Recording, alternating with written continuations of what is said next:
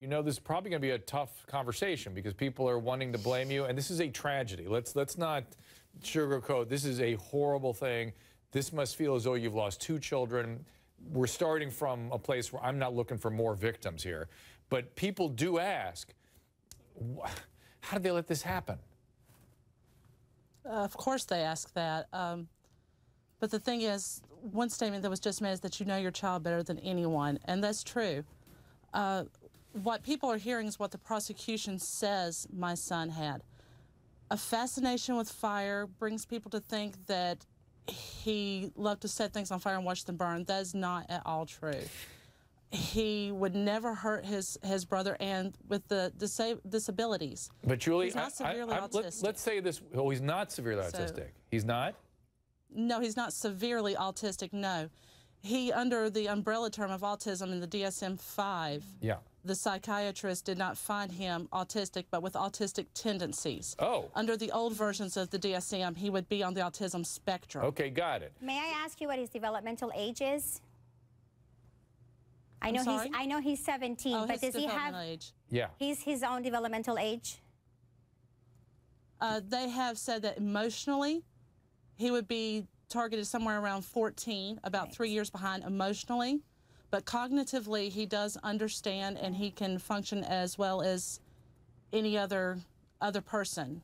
Uh, he has issues with schoolwork and has to be taught how to. He was taught how to take care of a baby. We did not just leave him with a baby without teaching him what it means to Julie, be a I. I got to be honest, and I want to hear from Myke too, if you don't mind. But but I, I, he- here's my thing: if you, this is me, uh, uh, you know, Dr. Drew, age 17, not me trained, me as a 17-year-old screwball, like all male screwballs are, also 17-year-old males are. If you had given me responsibility for an infant, I would have screwed it up. Uh, there's no way I could have done it. Did, did you have, Myke, any concern? You've been a 17 year old male, you know how our brains work. And then you've got a child that has challenges. Did it bother you? Did you worry about leaving him alone with an infant? Not a bit. I mean, I'm the oldest in my family. I've had to babysit my brother and sisters growing up. This is an outrageous part of the story. In his own handwriting, your son, quote, says, I didn't cook, burn, or light anything at all. Haven't played with fire. There it is, in two weeks. The investigators' version of Matt's inter- interrogation is they say, quote, Morgan said he set both fires by accident. So, Myke, what was going on there? How come they didn't let you guys in the room or an attorney in the room? What was that all about? Th- honestly, they just wanted they wanted him as their target. This was their plan from the get-go.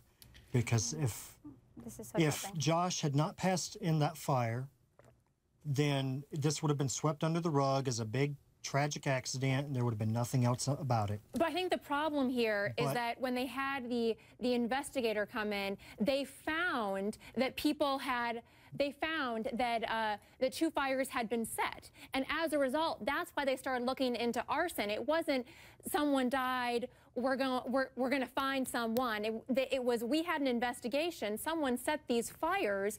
We need to figure out if there was foul play going on here. That is why there was the investigation. That's why the prosecutor was involved. That's why the police are involved. But it wasn't question- just to attack, uh, go after your son question, and though, find but- someone. But the question is, was still was that proper procedure though? You have at the end of the day a child with autism, and he was interrogated for five hours. It was not recorded. So how do we know that in fact he confessed? So we, I don't don't. I actually don't think that.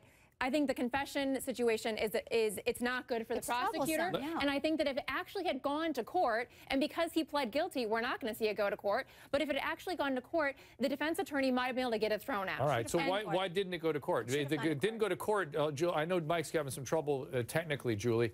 But is is it is it the fact that that he didn't go to court? Why didn't he go to court? Because of this so-called confession?